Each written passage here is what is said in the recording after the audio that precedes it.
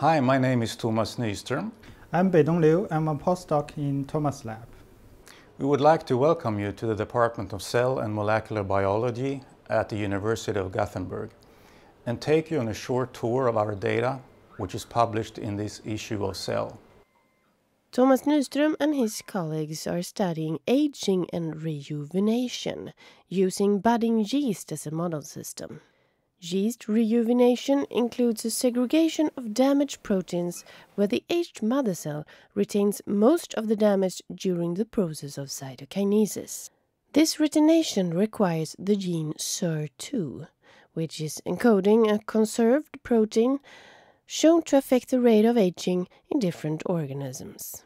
Well, we knew from before that the known silencing activities of SIR2 was not required for damage segregation. So in other words, SIR2 appears to have an unknown function. And the starting point of, of this work was to set out to find that function. And the way we set out to do so was to make a complete catalog of genes that interacts with SIR2. And by doing so, we, find that, we found that SIR2 interacts with genes of the polarity machinery and genes involved in cytoskeletal functions. This is interesting first because it indicates that SIR2 itself might be involved in uh, establishing proper polarity, and secondly, it puts the spotlight on the polarity machinery as the potential apparatus involved in segregating protein damage.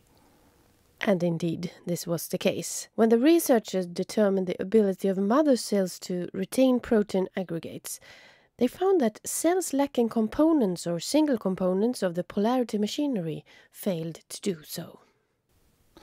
We also noticed that there are in fact two processes to keep daughters free of damage. One, as mentioned, is due to mother cells retaining aggregates, and the other by daughter cells moving aggregates back into the mother cell before completion of cytokinesis. Again, this process requires the polarity machinery and functional actin cables. If we now try to put this together by looking at the polarity machinery and the players involved in a more schematic way, we notice the following.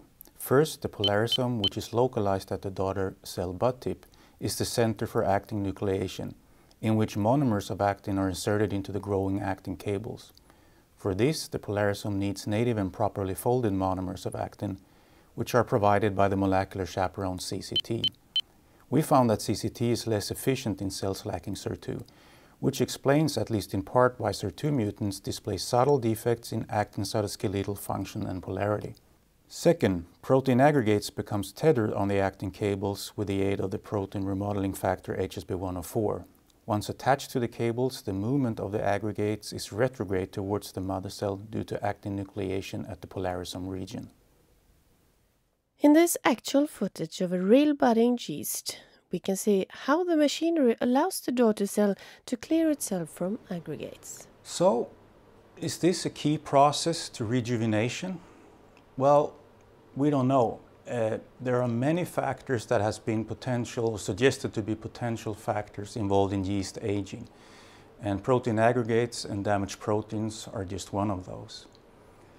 However, knowing that protein aggregates are key factors in many age-related disorders, such as neurodegenerative disorders, and knowing that it can play havoc with cellular performance and physiology, we think that this kind of segregation is important for the fitness of the offspring in yeast.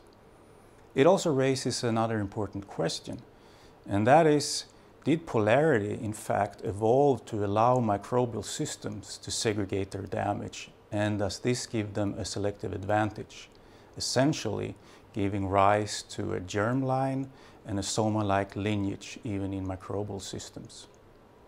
Well, we'll leave you with these thoughts and thank you for spending some time with us here at the University of Gothenburg.